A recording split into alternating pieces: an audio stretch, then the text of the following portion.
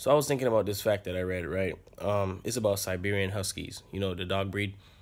And it says that they feel like they feel less like pets and more like your friend or your companion or some shit. Like these niggas don't feel like dogs. And I was like, that's interesting. I, I wonder if you could you is noticeable between the interactions of the human and the dog. Hey, buddy, I'm home.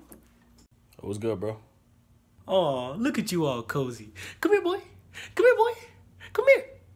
No, nigga. No, nigga. What? You, you need something, bro? Like, goddamn, you see me out here trying to fucking watch Netflix.